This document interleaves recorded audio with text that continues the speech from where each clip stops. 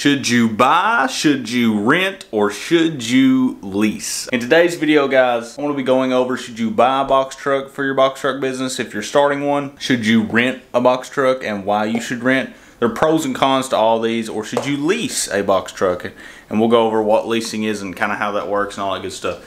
Now, buying a box truck involves having the cash to buy it outright. If you don't have the cash, obviously you'll have to take a loan. Now, I'm just going to go over brief, like, now the price is obviously going to vary for every single person. There's so many variables you have to throw in, like good credit, bad credit, down payment, no down payment. You have to throw that in. My payment when I had my box truck was $653 a month and my dog has joined the party. Anyway, this was my payment. Now, when I got, when I went to rent, this, I started out renting box truck, okay? For those that don't know. Before I went and got my truck, I started renting. So I know what it's like to rent and I started running off the DAT load board until I got Amazon Relay approved. This was my payment a week. Now obviously this is going to vary for everybody. Um, I'm not sure if they've came down. I know some people say they pay like $4.98 a week um, plus 10 cents a mile and it caps at certain mileage like a thousand miles. But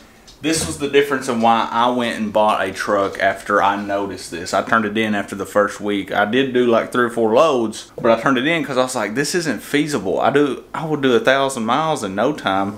And after that, the mileage just ticks up your bill for the week. So it ended up being more than this. So 653 a month versus 1246 a month. Now, leasing is kind of like renting, except you're not going to pay um, uh, the, the maintenance fee. You're going to go to maybe a trucking company that does leasing or they lease you out their truck or you could come to me per se and I could lease out if well I don't have a truck no more because I sold it due to the mass amount of profit I made off of it. But um, if I had a truck you could come to me we could strike up an agreement like hey you're gonna pay me every two weeks you'll pay me uh, 653 or something. And, and there won't be any maintenance fee. You would be required to take care of all the maintenance. You would be required to take care of the tires. You would be required to take care of all of it.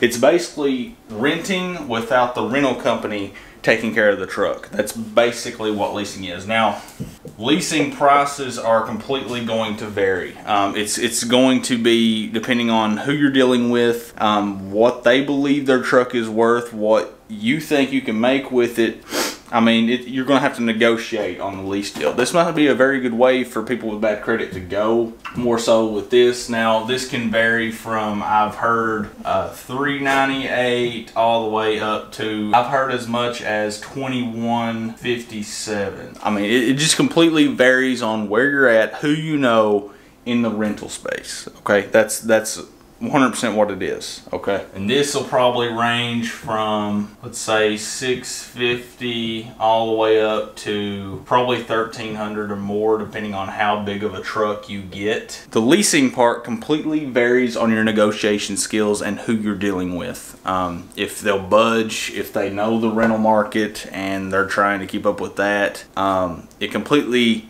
it's all on you and the person you're dealing with in the negotiation that you guys write up or the contract, all that good stuff. Most of the time, you will take care of all the maintenance. We'll write maintenance and we'll put you. We'll write maintenance under renting a truck and we'll put rental company. Um, they do, I mean, it's, it's under maintenance. So they do all the maintenance. We'll do fuel that's obviously you. Um, that's pretty much renting. Um, you'll do the fuel here. This is leasing essentially in a nutshell is basically you don't own the truck, but you take care of all the truck's needs. Renting is you don't own the truck and they take care of it all, but you're going to pay a pretty penny in the 10 cents per mile up to so many miles and then beyond that it's like 35 cents a mile sometimes I've seen. Yes, they're going to take care of the maintenance but it's going to cost you a high premium leasing. It depends uh, obviously upon your negotiation skills and you're going to take care of the truck basically. And if you don't take care of the truck and it's in the contract, they going to sue you hind in. So buying, you take care of everything. The rental company, they have, they will make sure it gets towed and they can get you a, um, that's another kind of pro to renting is the renting company will tow the truck, say a tire blew out and it ruined the front axle and and all that good stuff. They will get a rent another rental truck out to you to your location. You can transfer the load to the other rental truck, and then they will come get that rental truck, and you keep going on your way. So that is a net positive to renting. There are not all negatives of renting besides the price. The price is usually pretty high. There are some benefits to that though, um, as compared to owning, where if you have a tire that pops or something and you're on down on the road um, and say it messes up your your whole axle say it say it bends your your whole differential it's just ruined right? You have to take care of the tow bill. You're going to be out of business for a while if you just have the one truck and you have to take care of all the repairs. You have to get it towed to a body shop or wherever a mechanic that can work on it that you probably don't even know where you're at and there's nobody going to send you another truck right like you're, you're dead in the water the load's getting delayed you're not going to get paid for that load yet until it gets delivered there will be consequences for being late that will hit your score on your your DOT number as well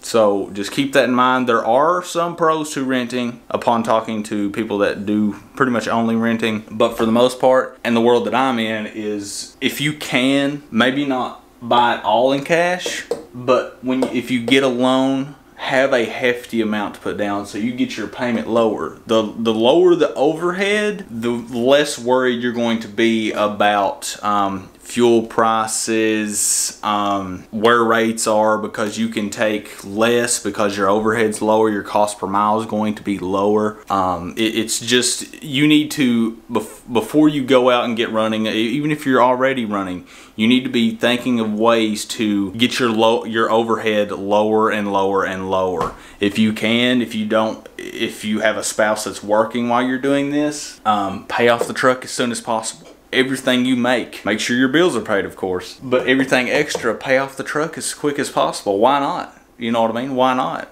Um, if you do that, and maybe if you're renting, just stack up the cash. So you start here, you go here, keep stacking up your cash. Boom, boom, you've got cash now. Go buy a box truck or get a loan if you can or pay off your debt if you're in debt and have bad credit. I mean, it's it is doable. It is doable. Um, you just won't have as much margin renting or leasing as you would owning. Uh, just keep that in mind. But this is the main differences between buying renting and leasing. If you have anything that you want to add to this, if you do renting and you have any more cons that I haven't mentioned in this video, please hit the like and subscribe. Um, this may also be in a course that I'm putting together. Yes, I'm putting together a course, but guess what? There'll be money back guarantees. Um, there will be a disclaimer, so I'm not getting sued. And I'm going to have special guests come on and they're going to teach certain things. I may have my hotshot mentor come on and she'll she might teach the uh,